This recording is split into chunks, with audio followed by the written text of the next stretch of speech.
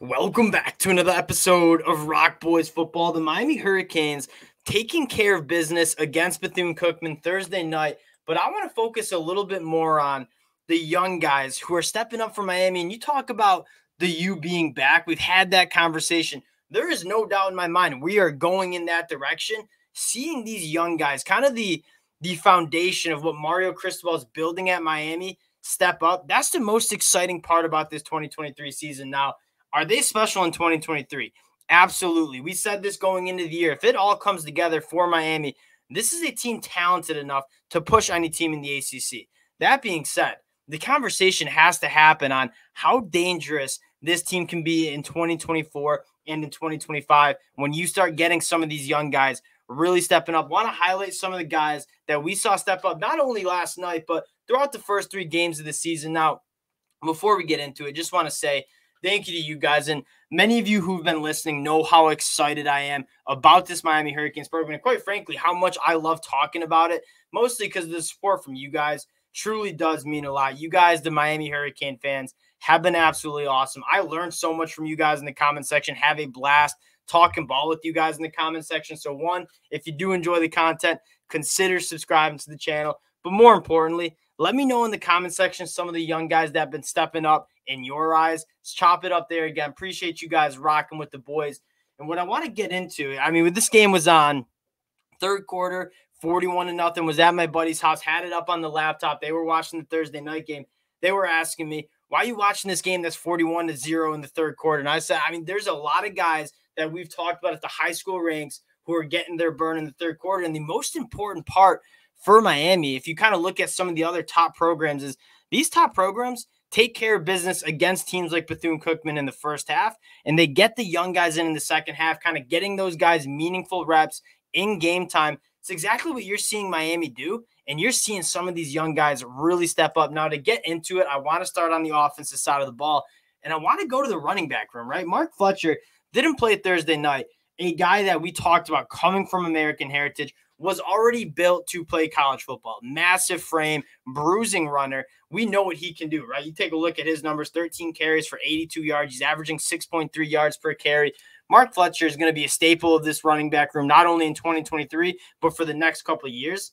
A young guy that we hadn't seen get too much burn, Chris Johnson. And you talk about a really balanced Miami Hurricanes running back room in the future. You got your bruiser and Mark Fletcher, who's going to be dominant between the tackles.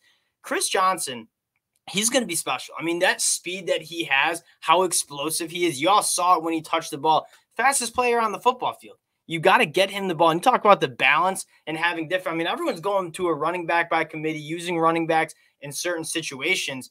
Mark Fletcher and Chris Johnson, in terms of balancing out that running back room, it's going to be a staple for that Miami running back room in the future. You have Kevin Riley coming in in the 2024 class. This is a really exciting room. But what's even more exciting is the offensive line that they're going to be running behind its next level. And we've seen Francis Mauigoa looking really, really good as a true freshman. But the most impressive aspect about Francis is that he's starting as a true freshman. I feel like we take that for granted how rare it is to have true freshmen come in and play on the line of scrimmage. Now, you see running backs, wide receivers, come in and start as true freshmen, that's because just that raw athleticism, speed, whatever it is, allows them to do so. You very rarely, even from the five star guys, see them come in and start. Francis is special. You see Mario Cristobal said, Alex Mirabal said. He's gonna be so special for this team. He's looked solid as a true freshman. And then the next guy who doesn't start, but he is going to be a staple on this Miami offensive line, Pancake Honcho. Samson Okunlola, they're already kind of working him in in some of those heavy packages but in the second half, you're seeing him get some burn. He's going to be a guy that I don't know if he's going to start as a true freshman unless someone goes down. That being said, he's going to be a staple in, in this mind. And you talk about every team in the Power Five across the Power Five wanting offensive tackles in the transfer portal. Tell you what position Mario Cristobal probably not going to have to go to the transfer portal in, and that is the offensive tackle spot because Francis, Pancake Honcho, really going to lock it down. Miami really has some bookend tackles that you're really excited about. Wide receivers, Ray Ray Joseph looking solid. I mean, you've seen him. They're trying to get the ball to him. He's just so explosive any way they can. Kind of still trying to find his footing.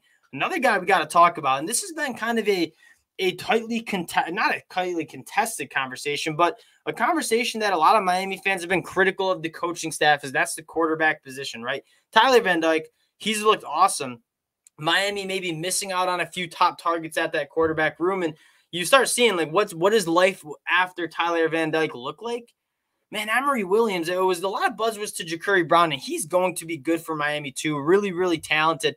That being said, I mean, there is a clear reason why Emory Williams has moved himself up to that quarterback two spot, and the game just seems so slow for him. And as a true freshman, that is by far the most impressive aspect of Emory Williams' game. Right, 12 of 14. He's throwing the ball for over 10 yards per attempt. I mean, this is a guy that's pushing the ball down the field, making every throw that you ask him to make, and just looking so composed. The ball's coming out on time. The ball's coming out on time and accurately.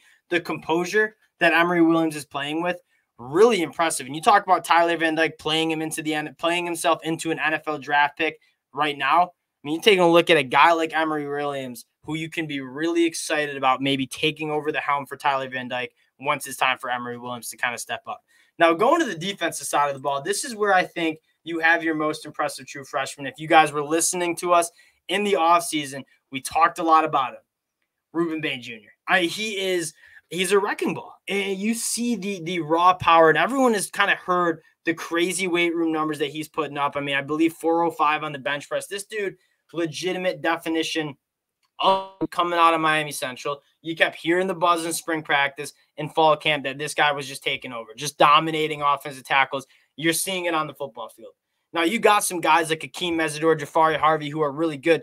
Rueben Bain Jr. is making it borderline impossible to keep him off the field. I mean, you see him use his power to just collapse pockets, but more importantly, he's an absolute dog in the run. I mean, just setting the edge, standing up double teams, whatever Rueben Bain needs to do, he's making it happen. And that's the most important aspect of a true freshman playing on the line of scrimmage is Can you hold up physically? Rueben Bain's not only holding up physically, he's giving it physically to the opposing offensive lineman. Rueben Bain, by far, I don't know if I'd say by far, because Mark Fletcher's been pretty damn impressive too. Francis Mauigoa, been impressive.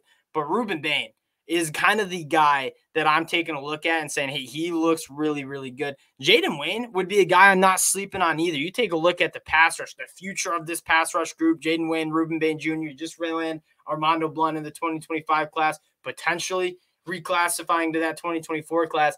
The fronts, that's probably my biggest takeaways. Mario Cristobal just changing the physicality, and everyone kind of associated Miami with like speed and playmakers on the edge the last couple years. Mario Cristobal – kind of changing that narrative. This is a physical group that's really good on both sides of the line of scrimmage.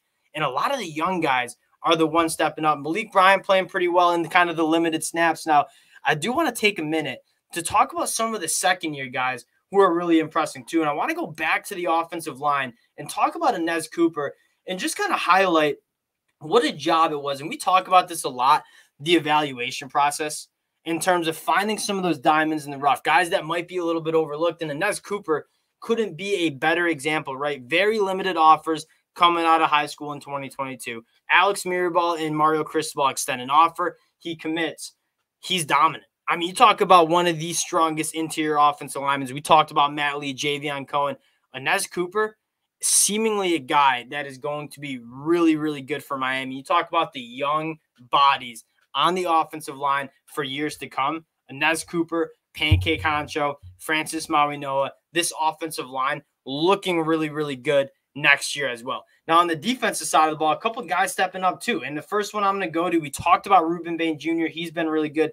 Nyjalik Kelly, he's kind of coming along too. And he's got a guy that flashed as a freshman last year, didn't play last night, I believe, due to injury. He's another guy. Just add him to the list of dudes on the line of scrimmage that are being extremely physical, extremely athletic, getting after the passer. And then the last guy I want to talk about, Wesley Bissainthe. And again, a guy that kind of came on the scene last year a little bit as a true freshman. This has been such a sore spot for Miami the last couple years, that linebacker play. They hit on two guys in the transfer portal in Francisco and KJ Cloyd. Wesley Bissainthe really making it hard for him to keep off the field as well you take a look at the first year guys and the second year guys that are really stepping up, the guys who are kind of the nucleus of this group, the nucleus of what Mario Cristobal wants to do. His first two recruiting classes, he seems like he brought in a really good class. And at this point, I'm throwing out the rankings, right? Mario Cristobal in 2022 and 2023 brought in really good classes. Now you can throw those rankings out and just see how are they how are they transitioning to the college football level. It looks like they really hit on their evaluations because some of these young guys really stepping up and becoming the nucleus of the future for Miami. Now, we all do uh, all this talk about the, the future being bright for Miami. I don't want to overlook that this group could be really good in 2023. I mean, you're already seeing it. Dominant win over Texas A&M where I mean that game could have gotten ugly on special teams. They kind of just dominate the second half. You look towards 2024 though. And again, I'm not saying they can't win an ACC championship and make some serious noise in 2023, but we talk about the U being back. It's talking about stacking talent, developing guys for the future. I, this this Miami team in 2024 and 2025 is going to be a dominant team, and most importantly, they're dominating the line of scrimmage. That's what I'm most excited about. But for Miami fans, like the young guys, stepping up in meaningful ways. This is such an exciting group. Again, I love talking about these guys that we covered coming out of high school. It's a blast. Appreciate you guys rocking with the boys again. Drop your most impressive first, second year guy, the young bucks that you think are really stepping up. Appreciate you guys rocking with the boys again. If you do enjoy the content, consider subscribing to the channel, and we'll talk to y'all later.